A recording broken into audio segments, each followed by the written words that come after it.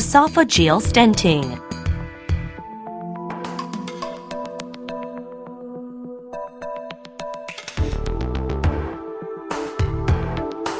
Esophageal obstruction may be caused by stenosing esophageal cancer, external involvement by lung cancer, or compression from lymph node enlargement. The EGIS esophageal stent has a unique design resulting in superior performance.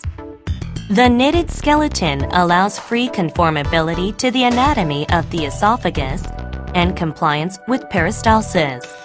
This results in markedly reduced migration, even when placed across the gastroesophageal junction.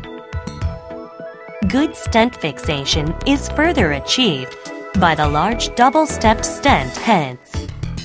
The absence of straightening forces reduces pain and the risk of pressure necrosis, while achieving slow and gentle dilation through the shape memory effect of the nitinol skeleton. The EPTFE membrane excels through durability and flexibility and allows easy stent removal, even after several weeks of stent implantation. Retrieval lassos for stent removal. This may be done in a conventional fashion via traction from the upper end or in an even less traumatic way by stent inversion through capture of the lower retrieval string. An optional anti-reflux valve reduces regurgitation and aspiration of gastric content for stents placed across the gastroesophageal junction.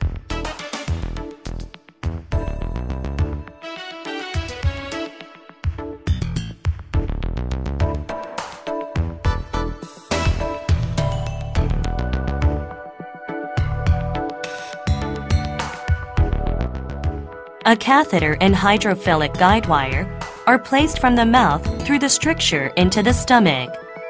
This may be done under endoscopic or fluoroscopic guidance. The patient should lie in a prone or lateral position to reduce the risk of aspiration. After removal of the guide wire, the stricture is outlined by injection of a water-soluble contrast medium through the catheter.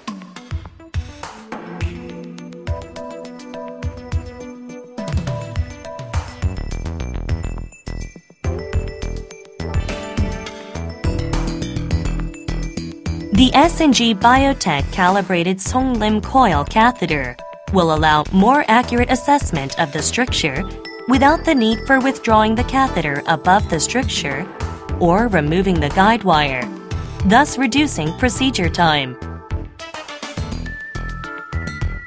The catheter is passed well beyond the tumor. A super stiff guide wire is inserted and the catheter removed. The delivery is advanced over the stiff wire and the stent positioned across the stricture. Radio-opaque gold markers allow accurate stent positioning on fluoroscopy. A yellow marker on the delivery system allows deployment under endoscopic control. The stent should extend beyond the edges of the strictures by at least 2 centimeters. The delivery sheath is unlocked and slowly withdrawn while maintaining stent position.